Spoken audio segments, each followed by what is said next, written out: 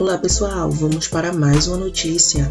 Após acidente do filho, Globo toma decisão sobre o futuro de Angélica. A apresentadora Angélica, que está na geladeira da Globo desde abril do ano passado, quando o programa Estrela chegou ao fim, parece que não vai ter um programa nem tão cedo. As evidências ficaram claras após a TV Globo demitir a equipe que trabalhava em total sigilo para uma nova atração de Angélica. De acordo com o portal Notícias da TV, alguns profissionais foram realocados em outras produções.